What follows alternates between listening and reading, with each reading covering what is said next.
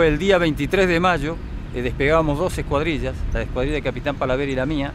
De las dos escuadrillas hicimos una sola, que de uno yo, de dos el Teniente Gómez, de tres el primer Teniente Luciano Guadagnini y de cuatro el Teniente Rinque. Despegamos eh, y nos dirigimos al punto de reabastecimiento en vuelo.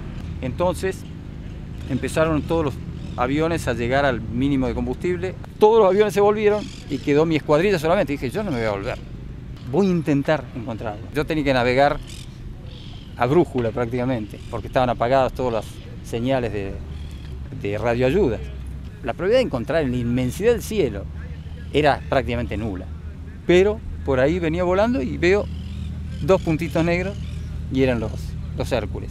Seguimos hacia el norte, pasamos frente a la bahía San Carlos, ahí de pronto empezó a saltar el agua alrededor mío, miré a la derecha y había muchos buques y dos nos estaban tirando. Así que di la vuelta por el norte, entré en, un viraje, eh, Luciano Guadagnini me perdió de vista, o sea, entré eh, Gómez y yo y Guadagnini Rinque. Por eso entramos desde distintos rumbos al ataque.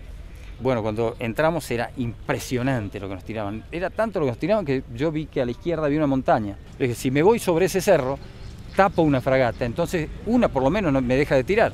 Así que me fui sobre, esa, sobre ese cerro y entonces esta me dejó de tirar y me siguió tirando una sola. Pero no tuve en cuenta otra cosa, que en tierra están los de, los de ejército.